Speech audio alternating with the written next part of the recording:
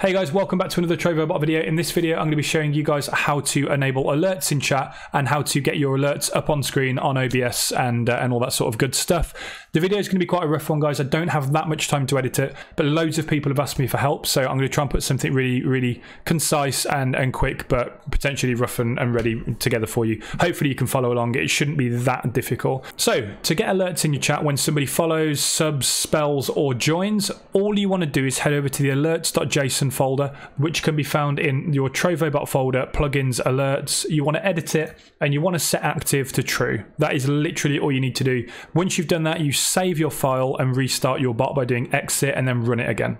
Once you've done that, your bot will start responding to people in chat when they follow, join, sub, spell, etc. Right? You do have a set of default messages here. So when somebody follows, for example, it will come up and say, thank you, user, for following or for the follow.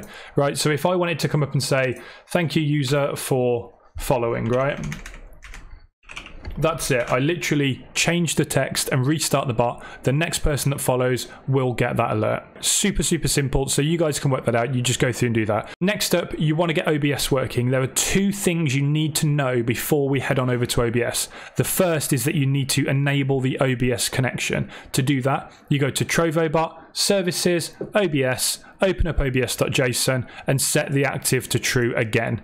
Once again, save, exit the bot, restart the bot, and you are done. The next thing you absolutely need to be aware of is that in your TrovoBot folder, you have this folder called labels, right? And in labels, you have your follow count, latest follow, latest join. So if I open this text file, Grizzly Adams 008, I appreciate you, mate. Thank you for following. While we're on the subject, guys, if these videos are helping you, please do drop me a follow. My link is trovo.live forward slash griff. It's much appreciated and it's great to see you guys in chat coming and saying thanks for thanks for the info because I literally only do this because I know it helps some of you out. Now the plug's out the way, just be aware of that because we're going to need that when we head into OBS. Okay, right, let me explain what's going on here. So above me, we have my channel open, logged in as my girlfriend's account. Why are we logged in as my girlfriend's account? Because she has a shitload of mana that she doesn't spend on me. So I'm going to use it to cast spells to prove to you that this stuff works. In the top corner, we've got the alerts.json file. I've got that open because there's some really important stuff in there that you guys need to know to get this working. And then in the bottom corner, we've got my OBS setup, which is already kind of set up as it needs to be. So you may be able to guess what we're going to do. So let me explain to you how it works. Somebody comes along and casts a spell in your chat. The bot goes, yo, we've just had a spell. Let's go into OBS and find the scene called alerts, right? Then let's find a source called spell. And then what it does is it just activates the source and says, flash this up for however long it is. I think it's 10 seconds by default, and then get rid of it. So what we need to do, obviously I've already done it, is you create an uh, you create a scene called alerts. Make sure it's spelt perfectly with the dashes. It has to match what's in the uh, in the JSON file over here. Excellent. Then in your sources, you create a source called spell over here. Right, I've got one. It's currently got nothing in it. So all we have to do is we quickly add. So we add some text, right? Whatever it is, doesn't matter. This is just to prove a point. So here's the text, right? We drag that text into the spell folder, and what's really important is we hide the spell folder because what we want is the bot to show the folder and then to hide it, obviously, because that's that's that's why we're doing alerts. So let me head on over to my girlfriend's account and I'll cast a quick spell. Boom. So as you can see, the text that we've put on the in the in the thing has popped up and now has disappeared, right? Perfect. Almost there. That's exactly what we want.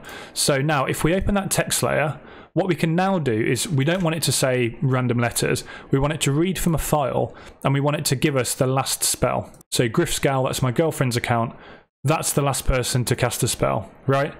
So now I go and cast another spell on her account. Again, it pops up with her name now because that's what's in the file. So somebody else comes along and casts a spell, the file gets updated with their name, and then the spell thing comes up saying their name, which is perfect.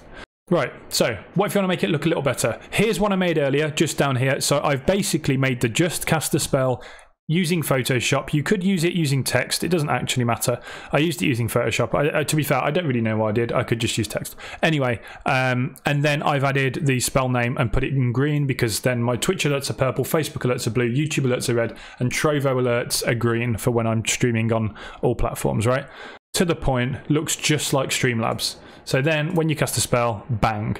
Griffscal has cast a spell, which she has. Thank you, Griffscal. Pops up, disappears.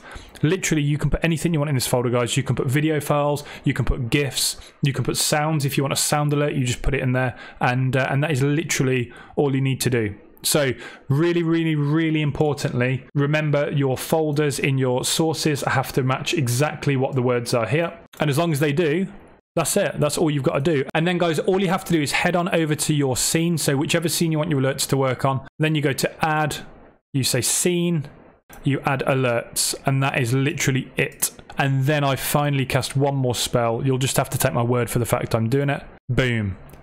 There's the alert. As I said, do it with all of the other stuff, all of the follow, um, sub, etc. And uh, and that's it. That is literally how you get it working. Hope that's helped, guys. If it has, obviously drop me a follow, trovo.live forward slash griff. Next up, custom commands, potentially. Uh, there's a load of other stuff people are requesting. So as I find out, as and when I find out, I'll make a video and, uh, and hook you guys up. But yeah, I appreciate all of your support. It keeps me motivated to do more stuff like this. So yeah, hope it's helped, guys. Catch you in the next one. Peace.